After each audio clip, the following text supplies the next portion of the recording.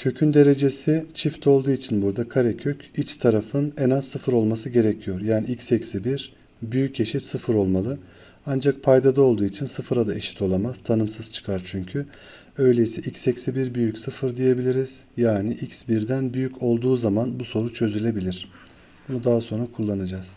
Üst tarafa baktığımızda köklerimiz eksi artı 3'tür. Alt taraf sürekli artı. Öyleyse işaret üst tarafa doğru değişecektir, belirlenecektir. Eksi 3 ve artı 3'e göre tablo yapıyoruz. Baş katsayı pozitif, artı eksi artı oldu. E şimdi sıfır olan yerler eksi 3 ile artı 3'tür.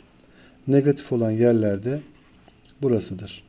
Birden büyük olmak zorunda olduğu için şuraya 1'i yazdığımızda birin sol tarafı komple iptal edilebilir. Çünkü alt tarafı negatif yaptığı için. Dolayısıyla 1 ile 3 arasındaki değerler. 1'i alamıyoruz açık aralık. 3'ü alabiliriz. Çünkü 3 yazdığımızda üst taraf 0 oluyor. 0'a eşitlik var. Bu şekilde alabiliriz. Buna göre doğru cevabımız B seçeneğidir.